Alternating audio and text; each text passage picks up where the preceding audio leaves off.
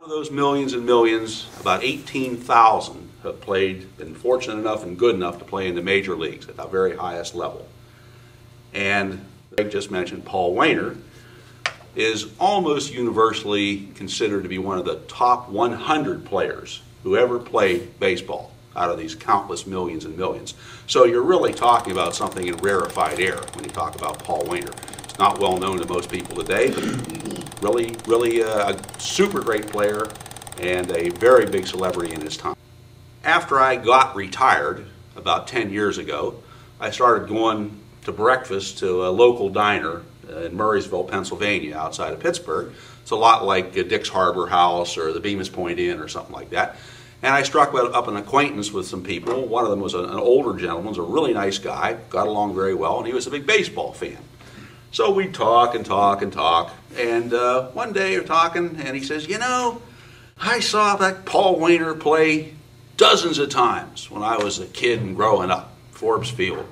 And why hasn't his number ever been retired? I don't understand this. It's sort of a, a rite of passage that most great players get their numbers retired by their former teams. Well, I said, geez, oh man, I don't know, Tom. I'm not sure. He says, we ought to do something about that. Well, okay, well, what can we do? I said, well, I'll do a little research. I knew about about Waner, but I said, I'll do a little research and I'll pull some facts together and I'll write a letter up and we'll sign it. So I did that, and I said, who we send it to? I said, well, how about the owner of the Pirates? Kevin McClatchy is the owner and CEO of the Pirates. The summer or spring of 2005, we wrote this letter, which I'll just wave at you, you don't want to read it, and uh, sent it off to him, not having any expectations. Well, about a month later, a letter came back in the mail. It says, hey, this is really interesting. Uh, I don't know too much about Paul Waner personally, but I'm going to have my research staff look into it, and uh, we'll get back to you. So that was really nice, not really expecting too much. Well, next spring, nothing's happened. I'm in my house one morning, the phone rings. Hello, oh, this is Kevin McClatchy, the owner of the Pirates. He says, We've looked into this and this is really a great thing and we're going to do something for Paul Waner. We're gonna, we're really going to do something for him. We're going to thinking about retiring his number, but uh, we don't know if we can do it this year because we got a lot going on. So I said, this is really wonderful. I talked to him, he's very polite. Well, on the year goes and on the year goes, nothing happens. No announcements, no anything. The next spring comes, nothing happens, nothing happens. Meanwhile, I keep sending him increasingly fervent letters. Why haven't you done anything? this is an atrocity. I'm burning up my goodwill right and left. You know?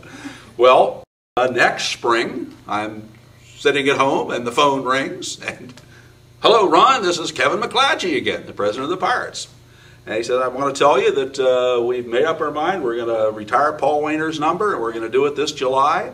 And i want you and your friend to come and you know be at the game not on the field but uh, complimentary box seats and so on and so forth. And uh, this is just wonderful. So this really did happen and they had a big ceremony for paul waner that we attended in July of 2007. His number was number 11, was formally retired. Uh, there's a big plaque up on the uh, facade if you uh, go to PNC Park to have all the retired numbers. There's about eight or nine of them, and Waner's is the most recent addition. And uh, it was just a really neat thing. Uh, McClatchy was a very, really nice gentleman about it. He really followed through. I did prod him a number of times, but he was unfailingly polite always got back to me. Uh, it was a great story. The only bad news out of it was that my good friend Tom, who started all this, died about four weeks before the Waner ceremony. Mm. So he never got to go to it.